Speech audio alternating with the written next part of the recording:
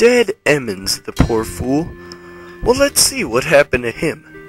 He lied in his resting place for a couple of days, and then they built a highway over him. Humbledorf was left with a fire raging in his soul, because the two men that killed his father were still at large.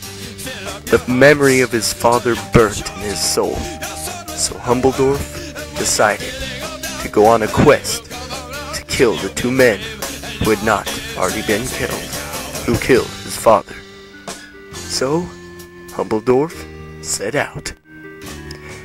With the help of Myrtle, he could track down the two thugs because of Myrtle's sensitive smelling ability. So the two companions set out towards the thugs. They are going, going, and then Humbledorf, in a rage, well, he couldn't remember why he had set out to kill the two.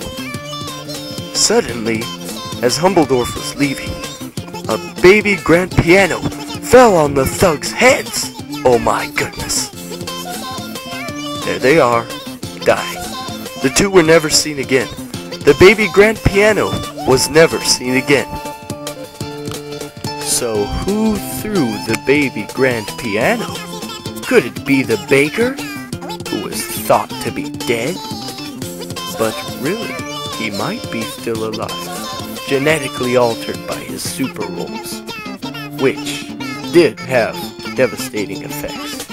We don't know if the baker is still alive, but one thing's for certain. Humbledorf will rage on until the fire in his soul is vanquished.